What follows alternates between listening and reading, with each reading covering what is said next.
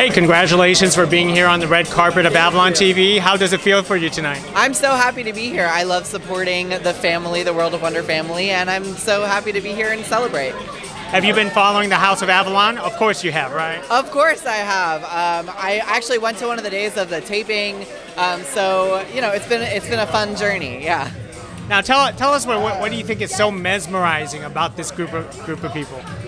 I think people just love to see a group of friends that create art together. Um, and it's always so magical to see the kind of things that they are up to and the things that they do. Um, and I think just people love following like a, a group of, of friends. That is true. That is true. You have upcoming projects yourself. Uh, well, you know, I'm in a, a, show called High School Musical, the musical, the series. That's on Disney Plus. I don't know if I'm supposed to promote that because of all the strike stuff, but uh, but yeah. So that's no specific. Don't worry. yeah. well, well, have fun tonight. I, I know you will. Thank you. Thanks. Thank you. Thank you.